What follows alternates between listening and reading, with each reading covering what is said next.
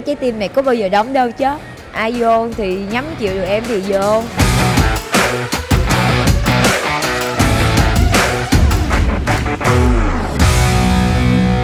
Xin chào tất cả khán giả của Molista, mình là Ngọc Phước. Trong quá trình quay phim thì chỉ có Em nghĩ là chỉ có hơi mệt là mọi người phải di chuyển rất là nhiều thôi. À, Gần như là cũng không có cảnh nào mà quá nguy hiểm. Cho nên là cái công cái một cái giai đoạn quay phim này nó diễn ra là khá là yên bình. Dạ không, em nghĩ là nếu như mà một người mà bị chán bởi cái chuyện hài hước thì nó nó hiếm lắm mọi người. Tại vì tại vì em nghĩ gì nè uh, cuộc sống của mình nó có rất là nhiều cái điều tốt đẹp mà đang mọi người vừa trải qua một cái giai đoạn rất là khó khăn về môi trường về mọi thứ xung quanh. Thì khi mà em nghĩ nha những cái điều mà nó dễ chịu nó hài hước nó sẽ luôn làm những cái người xem á người ta cảm thấy được thoải mái hơn được thư giãn hơn và uh, nói sao ta nhàm chán thì em nghĩ là không đâu. Tại vì em luôn cố gắng em đổi mới kể cả về hình ảnh về cách diễn. Thì em cũng mong là khán giả sẽ đón nhận một cách uh, lạc quan. À, dạ không được một cái là em rất là lạc quan nên là em không có hay loay hoay. Thì uh, em chỉ nghĩ vậy nè mình tới được đó mình ở lại đó mình ở lại với hình dạng nào uh, cái trạng thái nào rồi ở lại bao lâu? Rồi mình đi lên mình đi lên với cách nào? Rồi mình ở lại cái chỗ đó. Thì nói chung vì em nghĩ vậy á cho nên là em luôn uh, cố gắng hoàn thiện em một cách tốt nhất.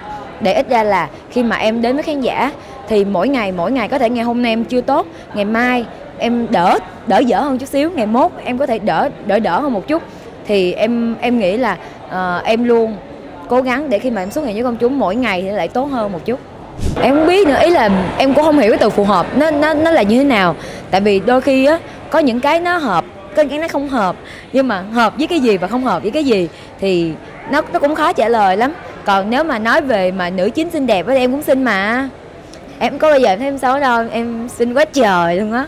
Thì em em luôn nghĩ vậy thôi. Thì em nghĩ là xinh hay xấu nó nó không quá quan trọng đâu. Nó, ví dụ nó sẽ phụ thuộc, nó tùy thuộc vô từng cái thể loại vai. Ví dụ vai nào nó cần thực sự phải xinh thì nên chọn những người xinh. Mà thật sự mà xinh mà cao thì hãy chọn những người xinh và cao. Còn nếu mà thực sự xinh thì chọn em vẫn ok mà, em cũng thực sự xinh mà.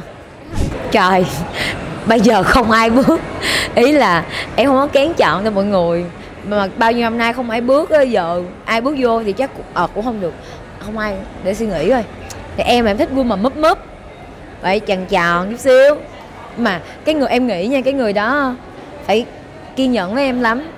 Tại vì em nói rất là nhiều ví dụ như em đi làm xong rồi em về em hay em hay nói nói nói nói. Nhiều khi em cũng chả biết em nói cái gì em cứ em cứ lại nhảy lại nhảy cả ngày vậy đó. Thì em nghĩ là nếu như mà cái người nào mà người ta uh, thương em người ta chịu được cái sự mà kể cứ em nhiều khi cũng phải là kể là kể chuyện buồn mọi người em mới kể khùng cái điên vậy á hoặc là em coi cái gì đó hoặc là em mới nghe bài hát rồi đó là em cứ kể.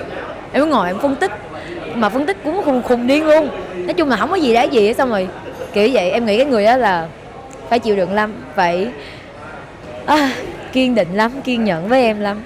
Thời điểm hiện tại thì em thật sự rất là gọi là sao ta em rất là lu bu với những cái ước mơ của em những cái dự định của em và với những người bạn của em nữa. Cho nên là ví dụ ờ, mở thì cái trái tim này có bao giờ đóng đâu chứ ý là, ai vô thì nhắm chịu được em thì vô, thì em bận vậy đó.